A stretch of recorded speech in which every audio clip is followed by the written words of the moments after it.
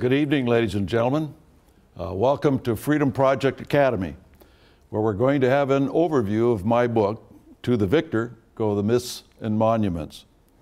Now, a lot of people are going to be very shocked about some of the things that are in this book if they've never been exposed to this sort of thing before. Uh, you know, when I went to school, I thought I knew history. You know, I studied history because I wanted to study history. I really liked it. I read a lot of books outside of the normal genre that we got in school and uh, learned a lot of things that I didn't learn in school, but nothing compared to what I learned after I got out of school. And it really all started uh, when I was in an automobile with uh, four other men. We were on our way to a speech.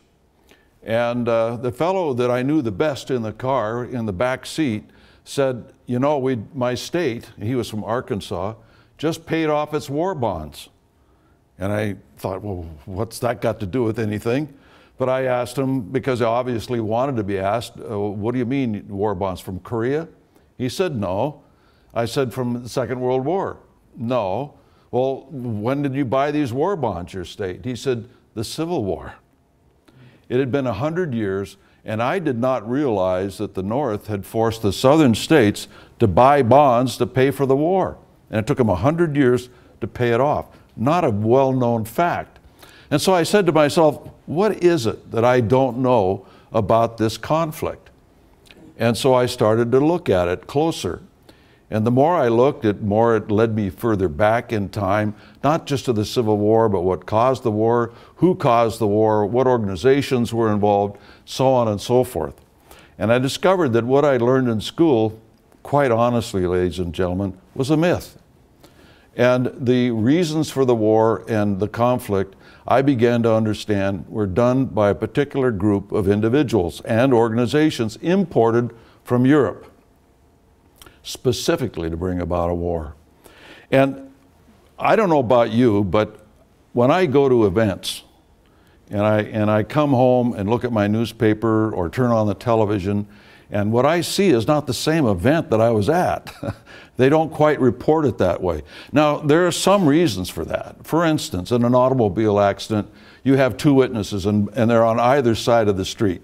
So one sees the accident from that side, another sees the accident from that side, and they both have a different view.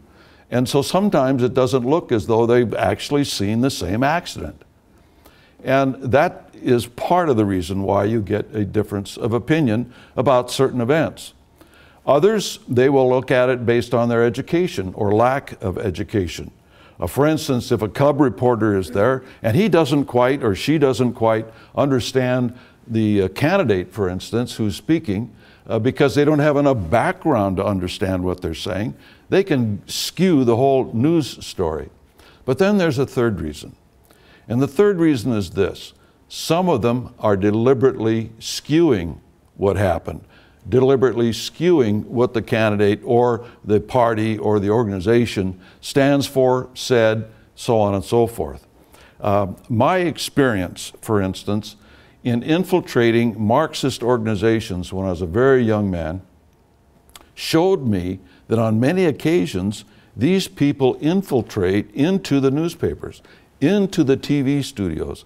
And I could give you names and so on and so forth. But just as a, a, quick for instance, and you can look this up online when you get home, and, and I actually encourage everybody to get out pencil, pencil and paper and write some of this stuff down if you don't believe it. Or if I throw a name at you, you can go online and look it up.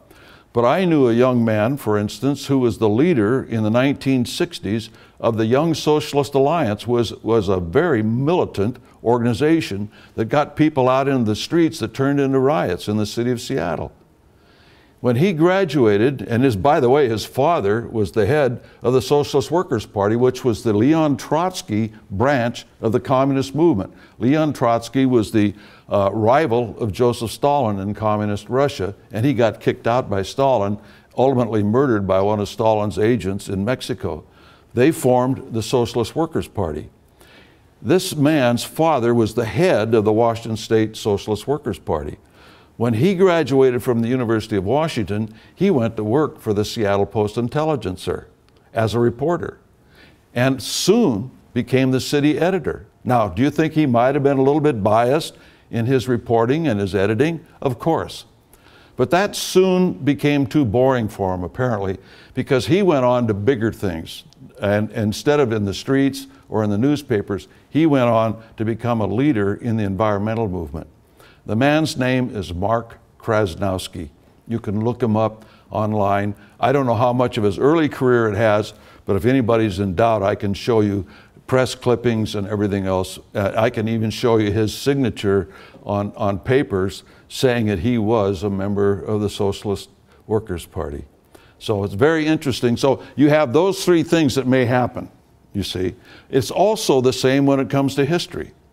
There are those that look at it from a different angle, those that look at it based on their education, and there are, are those that actually do change history in the history books. They deliberately obfuscate and lie about what history really was. And so, going back into history and starting to look and following all these rabbit holes and chasing the rabbits down them, I began to put a, a pattern together of early American history that I had never learned, nor had I found anyone else who had learned it.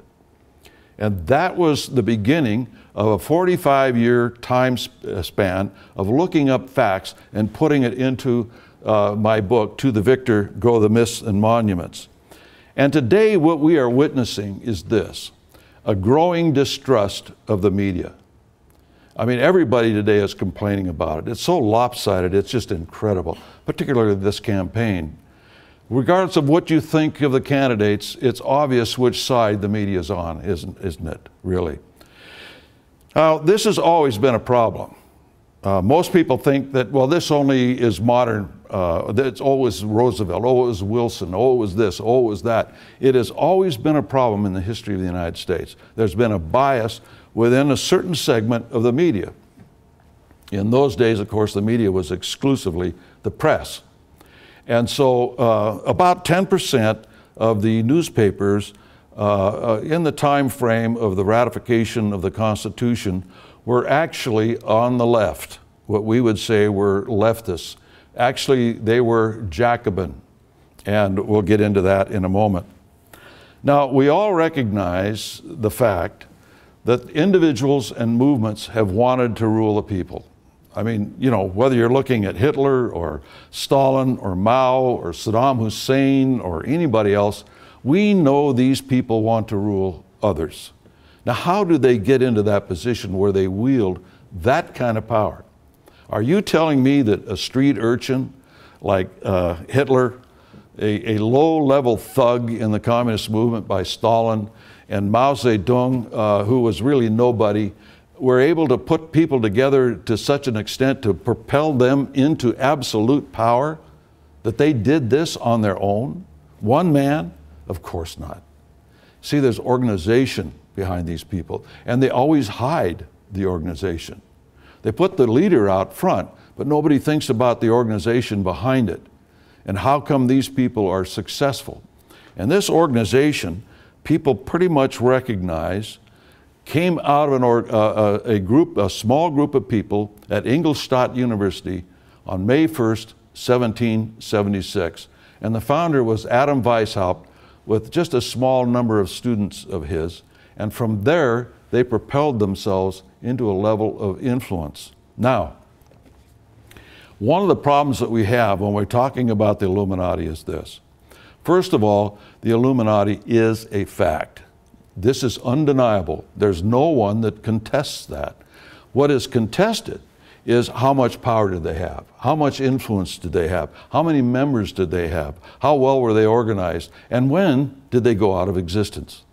You see, because every history book that you read tells you that the Illuminati went out of existence immediately after its, its uh, being discovered by the government of Bavaria. And it was interesting, by the way, the way they discovered the Illuminati. It was totally secret. And in those days, you didn't have mail service like we have today. You know, we just stick the mail in the slot and we know somebody's going to come along and pick it up. And, and in Timbuktu, they're going to get my letter, right? Well, this isn't the way it was back in the, in the 1700s. Particularly if you had uh, really confidential correspondence, you hired a messenger. Or someone, some friend, some family member, someone you bought, bought went out and delivered your package, your letter, correspondence, documents, whatever it was. And they had this Illuminist carrying these documents between key leaders in the Illuminati. Guess what?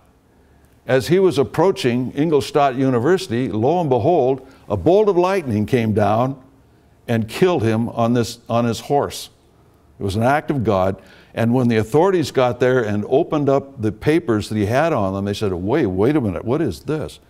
These people are talking about taking over governments and killing people and developing poisons to, and, and all of that sort of thing. What, what is this all about? So they found the, some of the members because of these papers and started to interrogate them. And they discovered what the goals of the Illuminati were. And uh, so before we get to the goals, let's talk about society in general.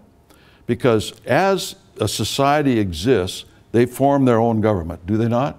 Every society forms its own government and maintains that government as they wish, based on their culture and religion and so on and so forth. In their geography, whatever, and all things that enter into that society, they form a government. We formed a government here with the 13 colonies, didn't we? Based on our culture, based on our religious background, etc. And that's the case it is all over the world, no matter whether it's a, a, a free government like ours or, or less free in, in many, in most cases. And so society determines your form of government. Now, if you change that society, you automatically change the government within a certain amount of time. It just is an automatic result. That's why immigration, mass immigration called migration, anytime that's ever happened, there's no time in history when that didn't change the society and the government into which they migrated. No exceptions. That is one of the problems of what's going on in our country today is they're changing our society. That will ultimately change our system of government. Can't be helped. And Karl Marx knew this.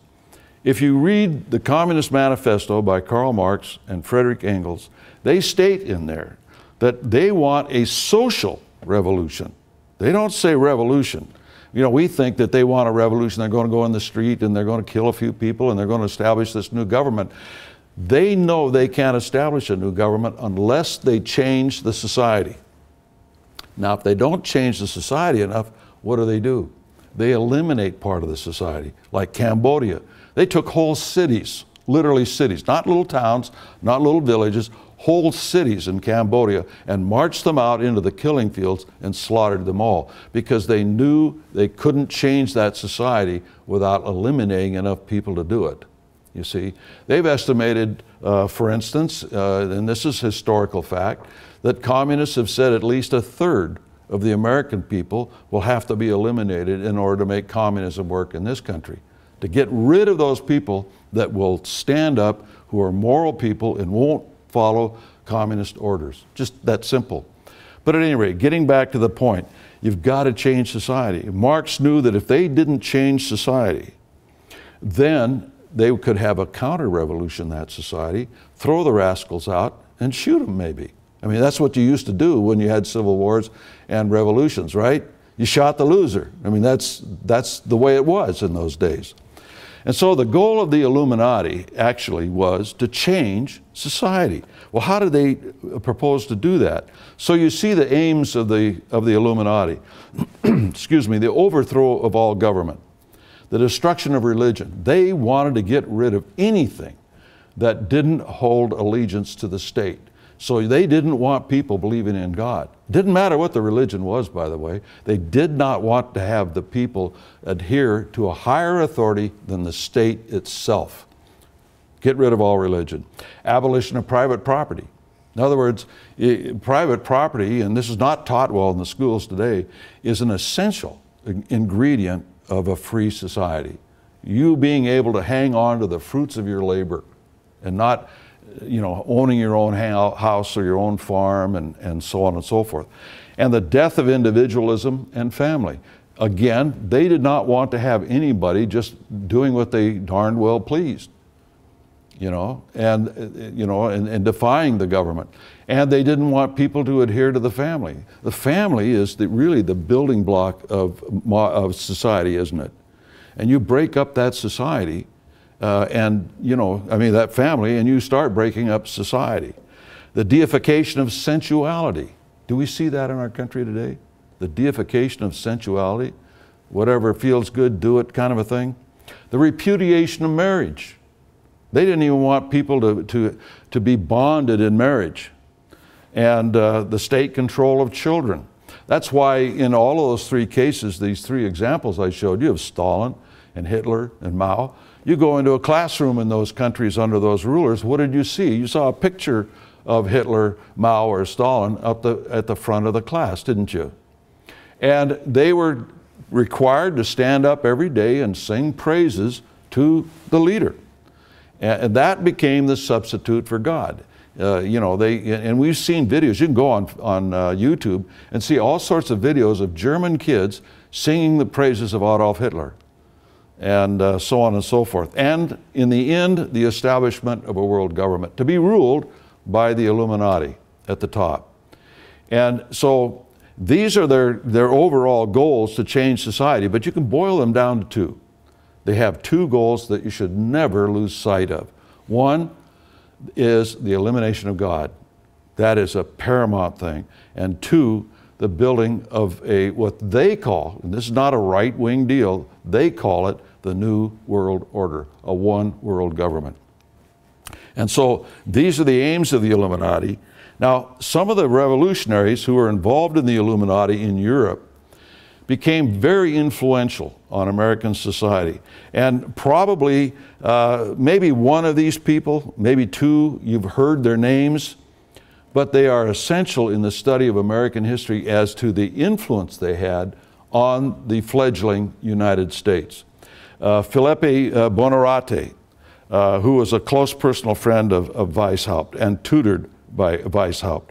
Gracchus Babeuf, he, you can trace Hitler and Stalin directly to this guy Nazism and communism. Uh, Louis Auguste Blanqui, the same thing. Giuseppe Mazzini, who was the leader of, of a wing of the conspiracy called the Carbonari. And uh, Comte de uh, uh, we'll talk a little bit more about him uh, in a little while. He was a pornographer. Uh, he dealt in pornography in France. And then Nikolai Bonneville. Now, Nikolai Bonneville is very interesting. He started the Cercle Social, or social circle. And the social circle had a profound effect on the American uh, people. Uh, through the various individuals that, uh, that they had run through their organization, uh, they also uh, formed other organizations. And uh, he was so famous. He was probably the most important member of the Illuminati in France uh, in his lifetime and very instrumental in the French Revolution. A lot of people know that they are in the business of changing words. You know, it's called uh. And, and they will actually change words to confound and confuse the language and move it towards people thinking the way they want them to think. Let me give you an example in my lifetime. When I was a small boy, when you called somebody square, that was a compliment because you were talking about the four squares of being a good person, you know, responsibility and, and belief in God and all of that, the four, four uh, square. That's what you were. You were a good guy. By the time I was an adult, a square had changed completely to an invective. He was a nerd, right? And so here, good guy, and within 15 years, the same word is bad guy. And that has changed a lot of words in our lifetime. Uh, welfare, for instance, and all sorts of things. You can look in the Constitution. The, the meaning of the words has changed completely. And this has been by design. And Nikolai Bonneville in the Cercle Social started that process. Interesting thing about Nikolai Bonneville. Nikolai Bonneville uh, how many here have heard Bonneville Dam, Bonneville Salt Flats? All these things named Bonneville, it's named after his son. And what happened was a man who was an American, who was instrumental in the American Revolution, went to England and started to form Illuminist organizations. And he was kicked out of, he had to flee England. He went into France. They made him, keep in mind, this guy is not a Frenchman, okay? He's not a French citizen. They named him a member of the French Revolutionary Assembly, representing the people. And he was a very close friend of Nikolai Bonneville, and he moved in with Nikolai Bonneville. He moved in and lived in his house for over six years. And he slept with his wife. He slept with Bonneville's wife. He was that close. And when uh, the rise of Napoleon came along, who was also an Illuminist, but put in there by the Illuminati, he decided that he wanted to be the leader. This is one of the things that they're always dealing with, these people. Every one of them, they're, they're like the mafia, right? Guy rises to the top, and the second guy wants to be at the top. So he bumps off the first guy, right? And, and that's the way the mafia works. Well, the Illuminati worked to a great extent like that too. So once Napoleon got in charge in France, he started to outlaw all these Illuminist organizations. Why? Because he knew they could take him out. You see, they always eliminate the people that can get rid of them. Hitler did it with the night, the night of the long knives, didn't he? Remember the brown shirt leaders? He was afraid they were going to have a counter revolution against his revolution, so he killed all the Nazi leaders that, that he feared. And Stalin did it by inventing a war on terror. There was no terrorism in Russia. They just perpetuated a couple of things, made it look like terrorism, and that way he could get rid of all of his opponents and rivals, guys that he feared could take over. Saddam Hussein did it the first week. Saddam Hussein, after he came to power in Iraq, got all the Ba'ath Party leaders together and said, Now I want you to go out and shoot him, and I want you to go out and shoot him, and so on and so forth. And they had to do it, and they did it. Because they knew if they didn't, it wouldn't just be one dead, it'd be two, right? Both of them. So that's how he struck fear into their hearts and literally took over very, very quickly, uh, totally. But at any rate, this guy, uh, is when Robespierre became the head of the French government, beheading all those people, you know, the reign of terror, he imprisoned this man, this American. No one ever knows how he escaped with his life, but he did. And he came back to America, and Bonneville asked him to take his wife and kids to America because he thought he was going to be arrested and killed by Napoleon. So this man brought these kids and the wife back, and he got the oldest son of Bonneville into West Point, and those are the landmarks that are named after Bonneville, Bonneville's son. The man, the American who did this, who was a member of the Illuminati, was a fellow that all of us know, Thomas Paine. Thomas Paine was a member of the Illuminati wrote a great thing called Common Sense. After that, you can throw the rest of it away. Most of Thomas Paine's writings after that are used as primers by the communist movement to take people who are basically American in their thinking into rationalism and away from God and building big government. Uh, any rate. Now, the Jacobin movement was imported to America from France, revolutionary France. These Illuminist agents came to the United States trying to take over America during Washington and Adams administrations. And uh, they were controlled by the Illuminati. Now, the interesting thing is now you can find this out if you look hard enough online. It got so bad that when Philadelphia was the capital of the United States before they built Washington, D.C., it's about 27, 28,000 people lived there. They had a riot of 10,000 people in the streets looking for George Washington to hang him. Now, did you read that in your history book? I sure didn't. But it's there, it's a fact. In fact, Adams, later on, John Adams, when he recounseled with Thomas Jefferson, because they had a falling out there for about a decade or more, Adams wrote Jefferson and said, The only thing that I think saved the United States in that time period was a yellow fever epidemic that hit Philadelphia. And so everybody stayed home. They didn't want to riot anymore. They went home, closed the shutters on their house, stayed inside. And the outside agitators, and there were a lot of them, came into town uh, as part of this movement, they didn't want to go to Philadelphia anymore and catch the yellow fever. As a matter of fact, uh, uh, Benjamin Franklin's grandson died of yellow fever. Uh, he was the editor of the Aurora newspaper, which was a Jacobin uh, newspaper. By the way, this movement, the Jacobin movement, evolved into the Democrat Party. It's just that simple. Uh, whether you like it or not, look at history, go back and study it. That's the way it is. At the same time, we had a Rosicrucian influence on America. The Rosicrucians is a secret society that's very, very difficult to research. It is probably one of the most secretive of, of those that are known. And uh, I've read all their books that I could get my hands on. And they always say the same things relative to who their leaders were down through the ages. Uh, for instance, they had a council of three. This is a worldwide council of three, mainly confined basically to, to uh, Western Europe in, in all uh, respects. And the leaders of the council of uh, three, and wait for this one Benjamin Franklin, George Clymer, and Thomas Paine. Now, Thomas Paine, when he left and came to the United States, he was replaced on the Council of Three by Lafayette, Marquis de Lafayette. Lafayette probably belonged to more secret societies and revolutionary organizations than anybody than perhaps Albert Pike, for those of you who, who know that name. Uh, it kind of went into a hiatus. These men all died and they kind of, you know, disappeared, so to speak. And uh, the second Council of Three was revived uh, just before the Civil War. And the individuals who belonged on that was Pascal Beverly Randolph and uh, General Ethan uh, Hitchcock, who was at one time the commandant at West Point, uh, George Lippard. And George Lippard was a young author, and he wrote a lot of books on history. And they were all fiction.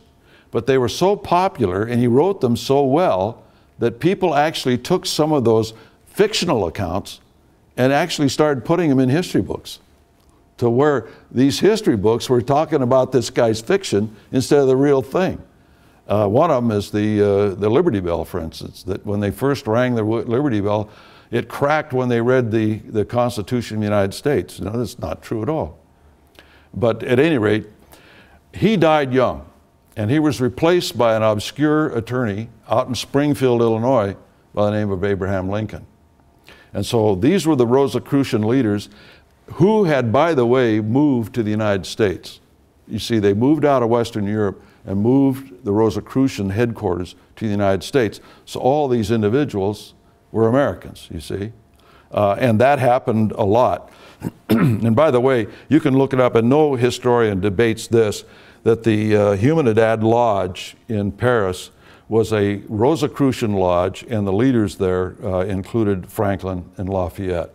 No debate on that whatsoever by historians. Now, there was a tremendous amount of Illuminati uh, influence through institutions on the government and in our society.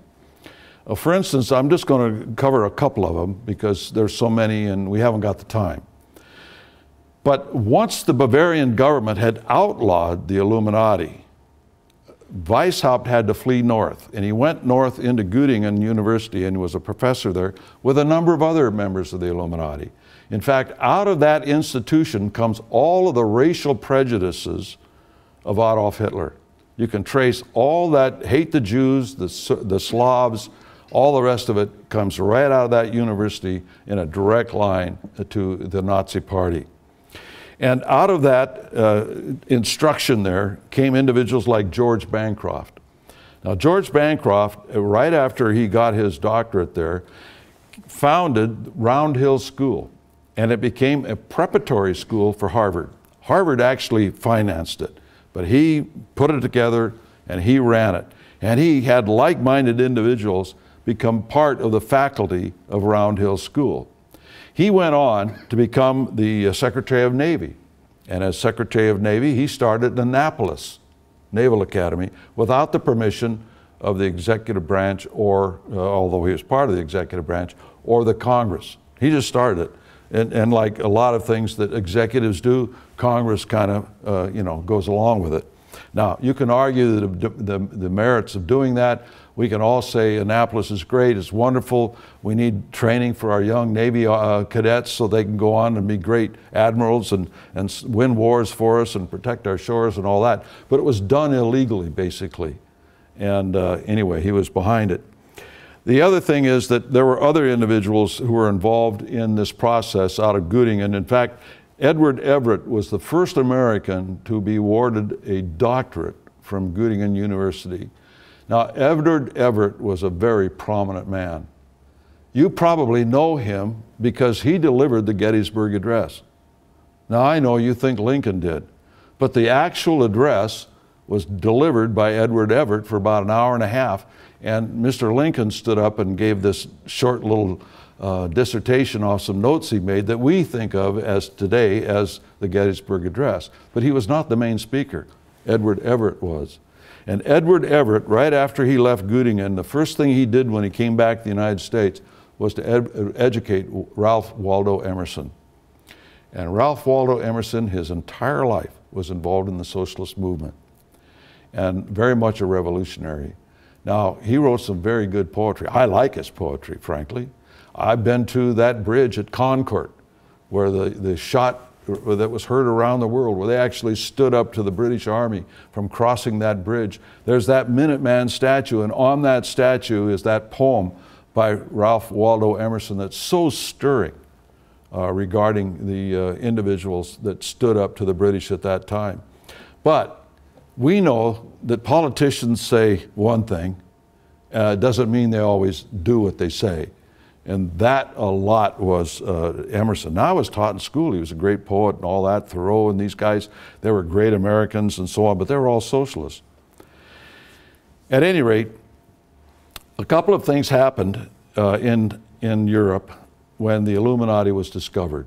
They developed a tactic that was, that was um, uh, given to them by Weishaupt that when they get discovered, they are to dive down and then come up into the surface again under a new name with different leaders, but it's actually still the same organization. And they've done this time after time after time. Most people don't even know that the name of the Illuminati wasn't their original name. It was the Perfectionablists. Hard to say. So they changed their name to Illuminati. But at any rate, uh, what they did was this. They formed something, a network called the German Union. And this German Union was designed to help people, supposedly, uh, with being able to get reading materials and books, magazines, that kind of thing. Because in those days, books and magazines were pretty expensive. Sure, the printing press had come along, but it was still very expensive. So, what they would do, they would have a little group, say in, in a small town, and uh, they would uh, pool their money to get this magazine subscription or this book and then they would pass it around. Well, they had nearly 500 of those societies in the German Confederation. And as a result, they started to control what magazines could stay in business, what publishers could stay in business, because they wouldn't order the books that they didn't want out there. They would order the books that were written and the magazines published by their own minions. And so, over a period of time, over many, many years, they started to influence the thinking of, of the German people. By the time Hitler came along, they were all prepared. But at any rate, that's what they did in Germany. In the United States, they copied the same thing into American literary societies like the Bird Club, Radical Club, Atlantic Club, Saturday Club, and they started to, to promote themselves. That's literally what they did the Emersons and the Longfellows and the Whittiers and the Thoreaus all belonged to these societies, and they promoted their own writings. They formed their own magazines and shut everybody else out. See, because I, as an intellectual, am an individualist, right? I'm out there writing and, and uh, that sort of thing. I'm not part of any organization. I'm just trying to get my viewpoint across, you see. Well, that doesn't work when you've got all these individuals organized to capture the publishing houses and deny me access to these magazines and publications and everything else. There were a lot of good writers and, and uh, as such in those days. You've never heard of them because they were shut out. Individuals just want to do their individualism. These guys were organized. They not only took over the publishing houses, they not only took over the magazines and started them and the newspapers, they actually started to go into the Christian publishing houses. And the main thing they did there was this they tried to convince Christians of two things. Being a socialism, uh, being a socialist was really the word of God. In other words, you know, share and alike and all that, all this charity business, only it's government charity instead of individual charity. They convinced Christians that that was the way to go. But more important than anything, the thing that they did was to convince Christians not to get involved. In other words, don't get involved in this. Uh, you know, do nothing. They wouldn't change any of the scripture. They wouldn't change the Bible. They would just change the mindset of how you read it. In other words, you're supposed, you're supposed to support your leaders. Like, you know, uh, there are many passages in, in Scripture that, that say that, except it's taken out of context. Cover to cover, it's what? Oppose evil and the consequences of not opposing evil. But they got Christians to stop opposing evil. And that's all they had to do.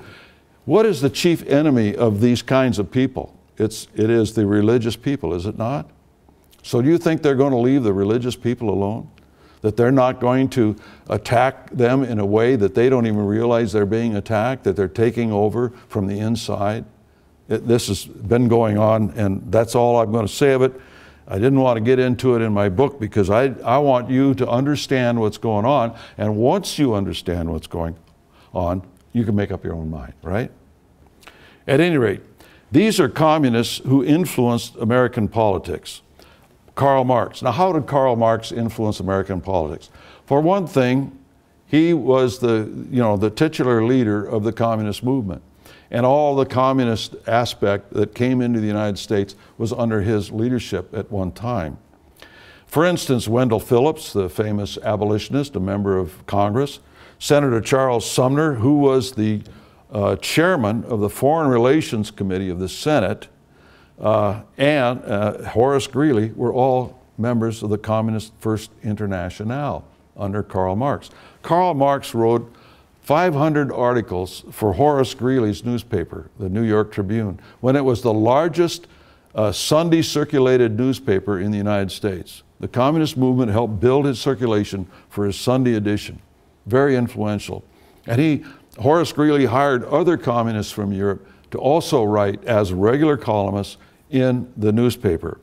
Uh, Robert Dale Owen, who was the son of Robert Owen, uh, Victoria Woodhull, Victoria Woodhull was the head of Section 12 of the Communist uh, Internationale. She and her sister put together the first Wall Street Journal, the very first newspaper that was ever published to keep people abreast of what was going on in Wall Street. And all the main brokerages advertised in her newspaper, and they all knew she was a communist. And Frederick Sorge, or Sorge, he was the leader of the communist uh, apparatus, if you will, uh, organizationally. And where did Sorge come from and where did he live when he was doing this? He came from Germany into the United States and ran the Communist Internationale from New York City because Karl Marx and Engels and all these guys moved communist headquarters to New York City in 1872. Look it up. You can find it. You won't find it in the history book you got in school, but you'll find it if you look for it. And so the headquarters of the communist movement has never been Moscow. Where has it been? It's never moved out of New York City. And there's a lot of evidence to that effect. I won't get into it, and I didn't get into it in my book because I stopped at a certain point. Now, one of the things that we've already said is we need to change society, don't we? And if we're going to affect a revolution, we need to change society. How are we going to do that? Well, the best way is war. You use war to change society. Why? Because in the name of the war effort, you'll stand still for almost anything. You'll, you'll have increased taxes, increased re- regulations, uh, the, the, curtailment of your travel, any number of different things uh, in the name of winning the war. One example is the cigarette tax. You know, it, you know, in the name of World War II, they put a tax on cigarettes that didn't exist there before by the federal government. Now, when the war was over, did they get rid of that tax? of course they didn't. But there were a lot of other things as well that they didn't get rid of in the name of winning the war, which were regulatory. Uh, they confiscated uh, businesses, uh, all sorts of things like that. But the war has to be on your soil to really make those changes. Can't be a war over there. It's got to be a war here. Terror is another way of affecting change. In the name of terror, in the name of security, in the name of protecting your neighborhood and your home from terrorists that may or may not be there, but you're convinced they are, uh, then you will stand still for limitations on your freedom. You know, uh, we see that, for instance, don't we, with the war on terror today, with their, the uh, government's ability to violate the Fourth Amendment of the Constitution, of, of searching your private records and everything else in violation uh, without a war uh, warrant. Economic collapse will do it too. And mass immigration will do it. So the best one, though, is war. So how do we bring about a war on the United, in the United States? How do we do that? We're not going to get England or France or, or uh, uh, uh, Spain to invade us. We, we already had that. The last one was the War of 1812. And the, and the English and everybody knew that they couldn't invade the United States. It's just impossible. So they developed a plan to bring about a war inside the United States. We recognize that war today as the Civil War. And uh, you can put any label you want on it economic war, a war against slavery, all that. All of these things were used as excuses. Most of the people that brought about the war, you can, you can document the fact they hated the Constitution of the United States. They hated the freedom of the American people. The leaders of the anti slavery abolitionist movement hated the Constitution. They just didn't want to amend the Constitution to get rid of slavery. They wanted to destroy the Constitution, whether it was Phillips, whether it was uh, Garrison, or who the leaders were. And they said so publicly. And that, ladies and gentlemen, is one of the reasons why the people that lived at that time were not enthusiastic about eliminating slavery right away, because they didn't like what came with it. It wasn't that they were for slavery, they just didn't want to hand leadership over to these people that wanted to get rid of the Constitution in the process. So it was very slow, and, and there was a lot of resistance to this. But the thing that really finally uh, turned this thing around was the terrorism that they produced on American soil to get the war started. They used terror to actually start the war. And the individuals that I have listed here are individuals who finance socialist and terrorist cause, they, these industrialists. We have the idea that industrialists, capitalists, are anti communists. That's not necessarily the case. There are a lot of them that helped the communists over the years because they themselves believed in it. Whether it was Robert Owen, a Scotch uh, industrialist who started communist communes in the United States, Frederick Engels was an industrialist, a partner of Marx. Gerrit Smith, who was uh, part of the Astor uh, empire, uh, John Jacob Astor. Andrew Carnegie had to leave England because of his involvement in the British Chartist movement. Chartist. And that's just another name for communist. The Chartist newspaper, The Republican, published the uh, Communist Manifesto, the first ones to publish the Communist Manifesto in England. Andrew Carnegie was a man who was part of this Chartist movement. Cornelius Vanderbilt. Cornelius Vanderbilt financed that Wall Street Journal that I just talked about. It wasn't called the Wall Street Journal, but that's what it was in, in, in fact. And uh, he, because he was sleeping with Woodhull's sister, he, she was his mistress. And so he helped finance these sisters in their communist activities. Now, the chief instrument of communist terror, which reacted the South into secession, was John Brown. John Brown was a communist according to his son, okay? Now, you won't read that in your, in your history books. But what happened with John Brown was he created such a reaction in the South because of Harper's Ferry that the Southerners were scared to death. In 1850, they had a secessionist uh, convention in the South, and they didn't secede because they weren't ready to secede. But after John Brown, they were, because it showed them, amongst other things, that the Northerners, in their eyes, were ready to kill them all. I mean, literally. And, uh, and so John Brown was used to create that condition. And the terrorist John Brown was helped by individuals who can trace their organizations directly to the Illuminati through the First International, like Sumner and Phillips and Greeley. Allan Pinkerton, you know, remember him? He's the guy that helped start the Secret Service in the United States. He was the guy that, that formed the Pinkerton Detective Agency, using the all seeing eye as his emblem. In fact, the all seeing eye of his emblem led to the uh, slogan, uh, Private Eye. That's where that came from, was Pinkerton's uh, uh, uh, illuminist eye. The Carbonari under Hugh Phillips, uh, Skull and Bones, for those of you who've studied that, the man who started Skull and Bones was William Russell. And William Russell was named a trustee of John Brown's will. Now, you won't find that in the modern histories of John Brown. You got to go back about 30 or 40 years to start picking up on the fact in these, these histories of John Brown that William Russell helped finance John Brown and was one of the trustees of his will. Because the thing is, too many people have studied skull and bones today, and, and so if they saw this name, connected to John Brown, a lot of eyebrows would go up and say, wait a minute, what's going on here? And the Secret Six is usually the group of people that they claim were the ones behind John Brown. They were only part of it, believe me.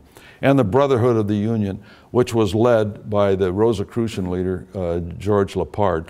The Brotherhood of the Union was one of the most uh, influential organizations in the United States you've never heard of. I had never heard of it until I stumbled across it and I says, what is this? And then realized it was to be an umbrella group for all of these leftists. They're going to form an umbrella group to unite uh, towards doing certain things. Now, the interesting thing on this chart is these are the individuals and organizations that helped John Brown. Some of these people had to flee the United States after Harper's Ferry because they knew they could be tried for treason. None of them were. They only tried, and, and uh, those individuals found at Harper's Ferry, they let everybody else go. And some very big people were involved in the United States government doing all of this. Uh, newspapers, these newspapers, and this is just a few, actually had reporters writing with John Brown, participating in the murder and mayhem and arson, and writing back as uh, unbiased observers to the newspapers about this great saint called John Brown who's trying to free the slaves. And, uh, you know, today we see things that are similar, don't we? For instance, we see video on, on TV where they'll go into a FARC uh, uh, training camp of terrorists in, in Colombia and show them, uh, you know, in, in their camps getting trained and all the rest of it. But the Colombian government, for some reason or another, can't seem to find them but this reporter can and come in and video them and then leave with the video. Whose side do you think that guy's on? He's not an unbiased observer, you see. He's kind of like the Mark Krasnowskis of the world and, and that sort of thing that I mentioned earlier. They have a bias, and, uh, but it doesn't show up in print all the time. And so these sorts of newspapers help propel this idea of this terrorist and what he was doing. And Southerners were reading these newspapers. They were saying, oh, this has gone too far. They literally want to kill us. That's what they're saying in some of this stuff. And, and the people behind John Brown are getting away with this. It's time for us to leave. And that's what caused them to secede. That's what finally meant, uh, made the mass uh, population of the South to leave. Now, I don't want to leave the South alone without saying this one point. I concentrated on my book about the northern aspect of the conspiracy because the North won the Civil War, right? So it had the major influence on the rest of the country. But we had these types of conspirators in the South. You'll see in my book very prominent individuals in the North and the South who called for the separation of the country into two parts. And as soon as it was separated, the agitators in the North became super patriots. We can't allow these people to leave. We've got to fight a war to keep them, uh, keep the, the union together and all that. And sometimes the speeches were made within 30 days of each other. It's incredible.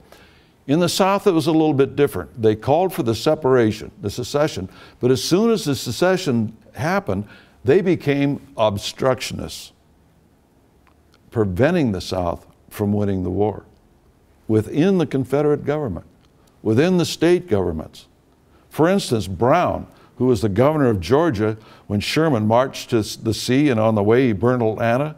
Did you know he had 10,000 troops under his command and he dismissed them, told them to lay down their arms and go home before Sherman even marched into Georgia? After the war, Brown became one of the richest men in the South because he became an in place carpetbagger. I mean, he started to take advantage of Reconstruction and buying up property, you know, a cents on the dollar and everything else. The, the man was, was really bad. All that's in the book. And I've already mentioned this. We concentrate more on the conspiracy in the North simply because the North had more influence after the war uh, going forward.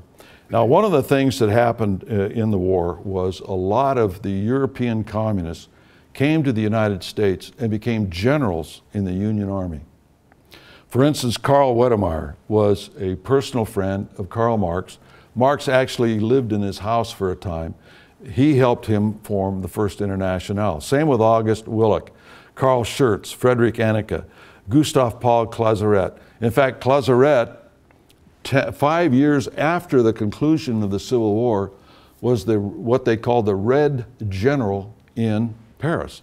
When the communists took over Paris and started to slaughter the clergy, you know, the Archbishop of Paris, and, and others to form a communist government in Paris.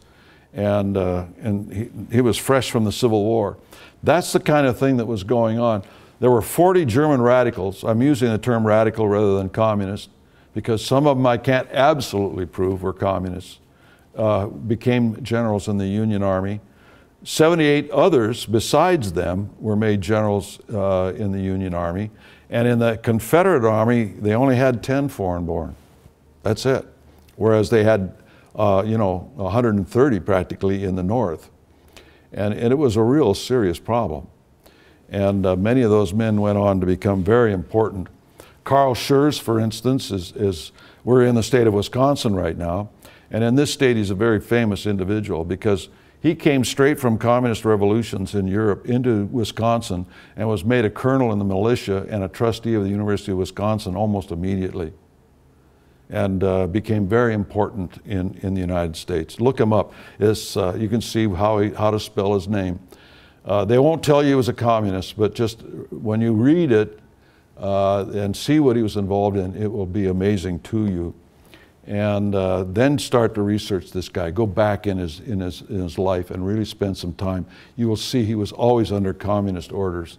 Uh, as uh, from the time he was a student at the university, and his main professor was a leader in the communist movement. But at any rate, uh, they, we, we document in the book the fact that many of these communists went into foreign service, into the uh, State Department, and uh, it was really quite a problem. And we're running out of time now, and I can't really get into some of the things that these men did in foreign service. So let me just end up on this one little note. Just to give you one other example of an individual. One of the people that was, that was appointed by President Pierce as our consul in Rome was George Sanders. George Sanders and the future President of the United States, James Buchanan, hosted a dinner for all these communist revolutionaries in London, whereat they uh, advocated throwing, uh, you know, overthrowing the governments of Europe and killing all the rulers. And they ended up the, uh, the, the, banquet by singing the Marseillaise. And it was so uh, bad that when the Senate got wind of it, they would not confirm George Sanders as our uh, consul in, in, in London. When he came home, he gave a speech in New York wherein he said that we need to have a revolution and reinstitute the guillotine. Only this time we need it driven by steam. Ka-chunk, ka-chunk, ka-chunk. And that was the kind of guys that we were sending overseas. And I'd like to get into the Ostend Manifesto and other things to show these revolutionary involvement in these things. You'll find it all in my book. But again, I want to thank you for coming here tonight. I wish I could have expanded on each one of these points to uh, uh, an end in itself, but we just didn't have the time. I hope I've pricked your curiosity so that you will uh, read the book and you will go online and say, I, I just don't believe this. I, I, just can't believe what I'm reading here. I'm going to research it for myself. Because one of the things that I wanted to do in my book was to stimulate others from their vantage point to do their own research and hopefully write more books in this early American history that we never learned in school. And I hope one day we will understand that a conspiracy does exist to tear down the United States. They've been working at it for over 230 years. They haven't been successful because of the layers of strength and morality within the American people and the fact that they fight each other. If they stop fighting each other, I, I, I hope that never happens because uh, united, they are very strong and it would be difficult to stop them. But we have to stand up. We have to be uh, vigilant. We have to understand the Constitution and the principles on which it's founded. And we always have to keep in mind we have to remain a moral people. Thank you very much.